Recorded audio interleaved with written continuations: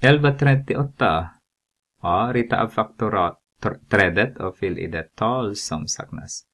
Så har vi 54 först.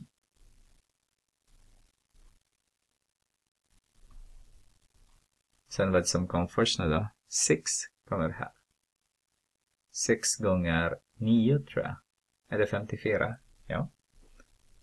6 multiplicerar med 9 är 54. Och sen här har vi 3 multiplicerar med 2. Sen den andra. Vi har 3 multiplicerar med 3. Så primfaktorer är 3 multiplicerar med 2 multiplicerar med 3 multiplicerar med 3. Den här vad de saknas. Jag vet inte vad det är frågan. Frågan är dela upp talet 54 i primtalsfaktorer. Så om vi här skriver bara här 54 är lika med 3 multiplicerar med 3 multiplicerar med 3 multiplicerar med 2. Då är det 54.